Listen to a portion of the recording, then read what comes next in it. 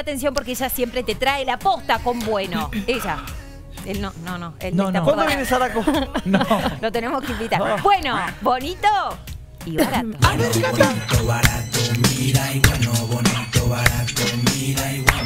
¿Lo pedí otra vez? Bueno, acá llegamos con bueno, bonito y barato. Claro, Amadeo recién me, echaba al frente de que no, hacía mucho no salía. Bueno, pero acá estamos con muchas novedades. Cuatro actualizaciones de Instagram. Vieron que Instagram es la red social por excelencia. Casi todo el mundo tiene Instagram, consume a través de Instagram, sigue contenido, sigue tendencias. Pero lo cierto es que los creadores de Instagram también siguen tendencias. Por estos momentos, la red social que está llevando la punta a la cabecera es TikTok. Eh, ¿Se acuerdan que, por supuesto, algunos tips decíamos de TikTok?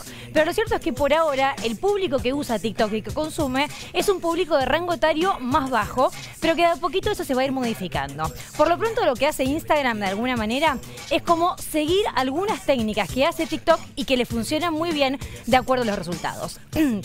Vamos a arrancar con algunos de los cambios, algunas de las actualizaciones que se han implementado en los últimos días. Arrancamos con la importación de audios en Reels. Vieron que TikTok, la metodología es todo video. Bueno, ahora las redes sociales están virando a eso. Por eso es que Instagram también le está dando muchísima importancia al tema de los Reels.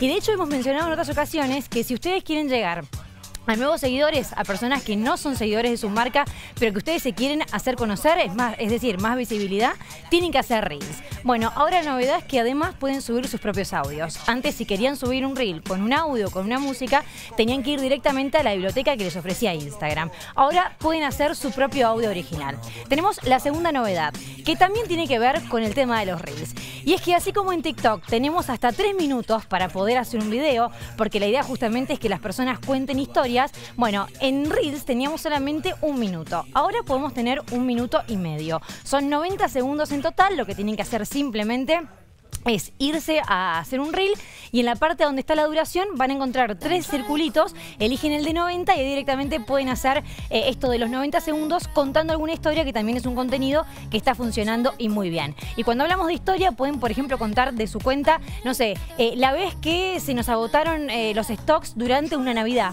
o la vez que sacamos un producto que no le poníamos ficha y de repente se vendió todo. ¿Pueden contar alguna historia que tenga que ver con una anécdota de ustedes? Que de hecho la semana pasada les decía esto de contar historias a través de un audio y en 90 segundos. Tienen un minuto y media y medio, no tienen que editar después tanto el video. Vamos a la tercera actualización. A ver qué otra cosa nos regala Instagram en estos tiempos. Bueno, eh, stickers interactivos. Ahora en las historias ustedes saben que pueden poner, por ejemplo, eh, un- una encuesta. Por ejemplo, ponen un producto y le ponen en un lado me encanta, en el otro prefiero otro, por ejemplo, para que la gente pueda interactuar. Y esto hace que mejore el engagement, el famoso, la famosa interacción, que es una de las métricas más importantes que tiene Instagram. Si ustedes suben un contenido y la interacción es buena en los primeros minutos, va a ser un contenido que va a seguir dando vueltas y que va a seguir teniendo buena interacción. Entonces, como es tan importante, lo que hace ahora Instagram es decirte, bueno, también en Reels lo vas a poder usar. Esto de la encuesta, esto de la, la rayita para poner, por ejemplo, un corazón que se vaya hasta el fondo porque te encantó el contenido, o el cuestionario con las preguntas. Bueno, también puedes utilizar estos famosos stickers. Y la última actualización tiene que ver también con algo que es muy clásico de TikTok.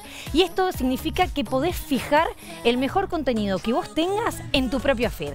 Vieron que nosotros en nuestro feed tenemos un mosaico con diferentes contenidos o diferentes placas. Por ejemplo, Amadeo con el celular lo está implementando en este momento.